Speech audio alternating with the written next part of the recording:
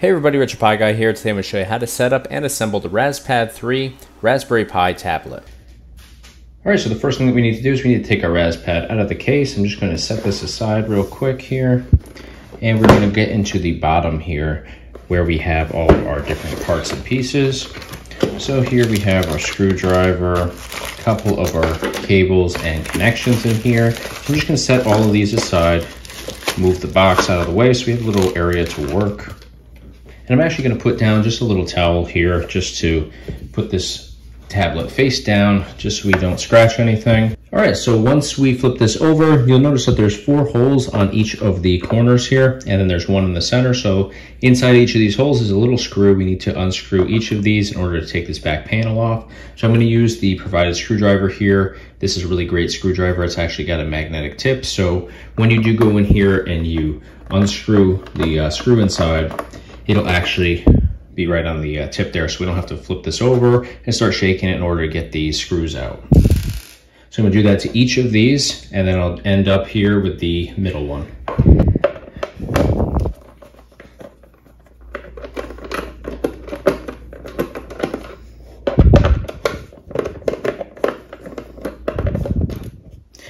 All right, so I've got all of those out. So now we can just uh, flip this over and you'll actually see up here, where is it? Over here on the right-hand side over by the power uh, button and micro SD card slot, there's a little piece right here where we can actually just put our finger in and just pull these apart. Comes out just like that.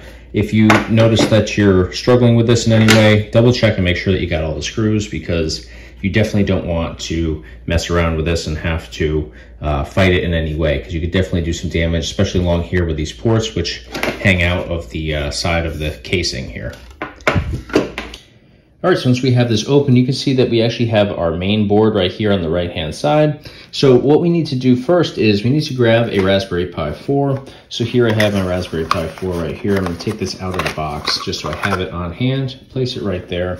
So actually where this is going to go inside is, it's going to go and sit right here like this. You can see where these little holes are and you're just gonna line those up with the holes on your Raspberry Pi 4. So we're not going to secure this in just yet because we have to make a bunch of different connections here. So the first connection that we're going to look for in our bag of connections right here is our Ethernet connection. Just going to pull each of these out one by one just so we have them on hand here until we find that Ethernet.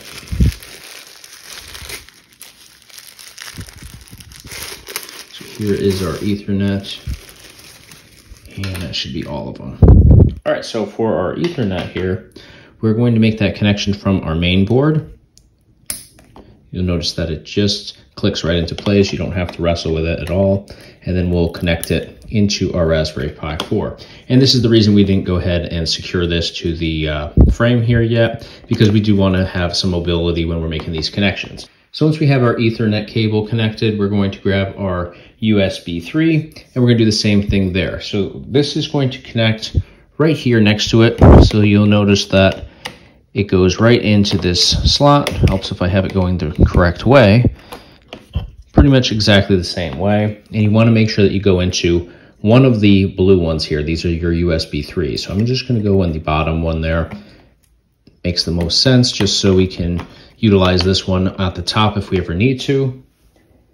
All right, so once we have our USB 3 cable connecting the main board to the Raspberry Pi 4, we're gonna take our micro HDMI cables. You'll notice that we have two of these. So one is a little bit shorter, one is a little bit longer. The longer one actually goes out here into the furthest port, and the smaller one goes in here on the uh, closer one. So we're gonna do the smaller one first, just so we don't have to overlap these or you know, deal with anything being a uh, tight fit or anything like that. So I'm just going to slide that one in there. This is going to go up here to that first one.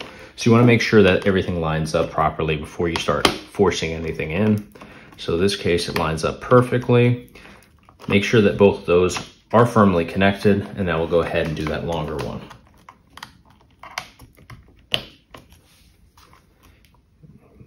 And this one actually, just it could just be mine, but the way that this lines up as it comes is not correct. It won't ever go in that way. So I just have to actually twist this around the other way. So there is a little bit of twist in the longer one. Not sure if that's how it's gonna be for everybody's, but it is something that I noticed here on mine. So again, once you put both of those in, just make sure that everything is firmly secure and those connections are 100% in. So now you notice that we have over here just one more cable and this is going to be our type C cable. So this actually goes in right next to those micro HDMIs and then you'll notice over here as well where it makes that connection. So it doesn't matter which end you use, just firmly insert that into the type C port. Same thing down here. This gets to be a little bit tighter right here, so you'll notice that you do have to kind of wrestle this, and that's where having this um, not secured in with those four screws does make it a little bit easier. So, so now you can just kind of lay this down now and then just push this type C cable around that micro HDMI cable. And you do want to make sure I have these, see how I have this micro HDMI going through this little, um, uh, I don't know what you'd call this, little opening here. Make sure that you put that around the outside because your center screw, when you go to put this back panel on, is going to utilize this hole. So you definitely don't want to have to worry about your screw going into any of these cables and making any type of perforation. All right, so once all these cables have been fully connected and put in place, it's time to grab our FFC cable and we're going to actually just take this out of the plastic bag. Now, be careful because there is a loose piece in here. I'm just gonna set that loose piece aside for right now. We're going to take the actual cable itself. Now, your instructions will tell you to make the connection. Mine came already connected. So once we get this out of the bag, we're just going to insert it into the micro SD card slot on a Raspberry Pi 4. So again, this is another reason why we didn't secure those four screws into the Pi yet. So just pull this up, slide that into the micro SD card slot it'll just slide into place. It doesn't click or anything like that. So once that's fully inserted into a Raspberry Pi 4, we're going to take the other end of our FFC cable and insert it into the micro SD card and button board, which is located directly next to it. So in order to do that, there's a little black piece here on this connection. We're just going to lift it up ever so slightly. We're gonna just bend over the actual cable here, slide it into place, and then push that black piece down. And you'll notice that that fully secures it here, so I'm not able to pull it out. Not that I'm giving it a strong tug or anything, but that does lock it into place there. So that connection is nice and firm. All right, so once this connection is made and everything is firmly in place, we're gonna actually take those four screws and actually now mount the Raspberry Pi 4 to the back of the housing here. So we're going to take these smaller screws, which look just like this, I'm going to take those out. We're going to utilize four of them. So there's actually some extras here. Make sure that you just use the four because there's only four slots on the actual Raspberry Pi that we need to use to secure this in place. So the way that I do this is I actually start on the left-hand side. It just works much easier this way. I'm going to just kind of pull these up into place just to get this started. Once I get the left side in, it'll be much easier to get the right. So I have that first screw in. So now for the second one, I do kind of have to wrestle this over into place just to line them up. But the good news is once you get that left side lined up, the right side will be pretty much right in place.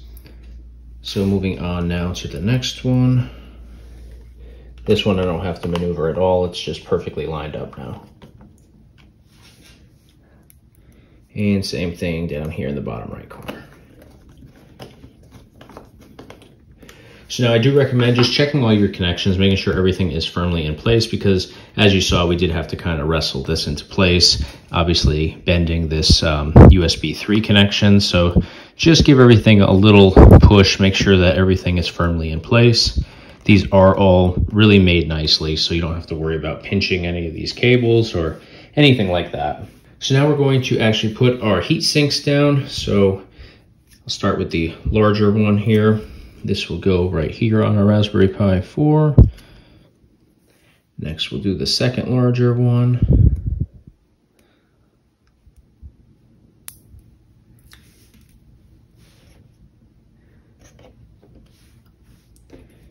And now our smaller one. So now they only give you three heat sinks, not four, which for the Raspberry Pi 4, you could definitely utilize four if you have them. Doesn't make a huge difference, but um, you can see here that one of them is missing, but not a big deal whatsoever.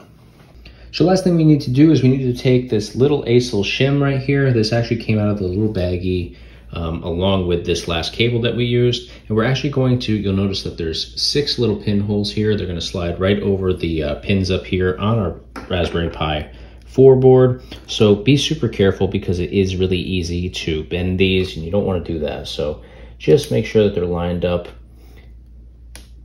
Definitely wanna be really careful here and you're just gonna slide them down. And you can actually use the head of your screwdriver just to slide them down ever so slightly. You don't want to push them down too far. Just go as far as they actually uh, will allow. You're not gonna force them and smash them down or anything like that.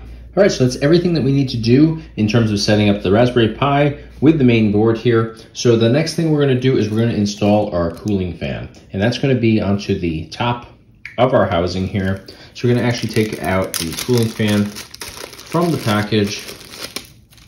And the way this is gonna sit is you're going to put the label down right here, just like so, right in that position there.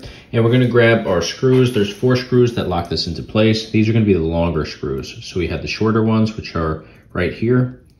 Those are for attaching the Raspberry Pi to the uh, housing like we just did. So you want the longer ones. These are what you are going to use to secure your cooling fan to the top side.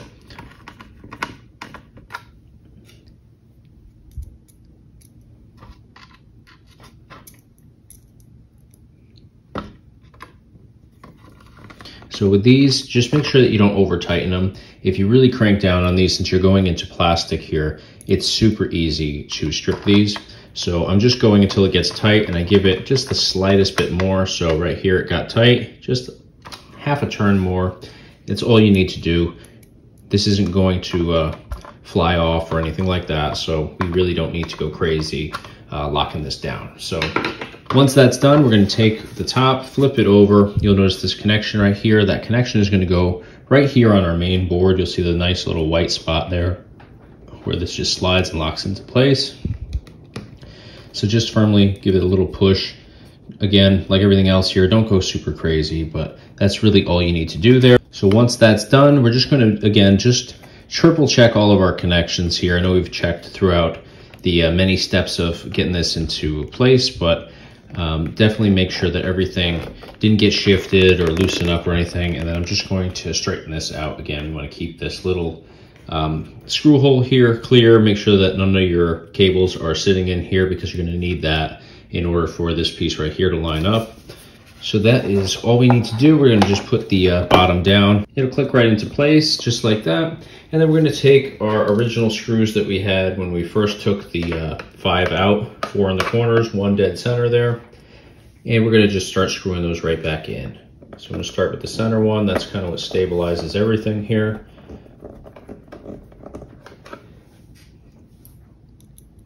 And then we'll go to those four on the outer corners there.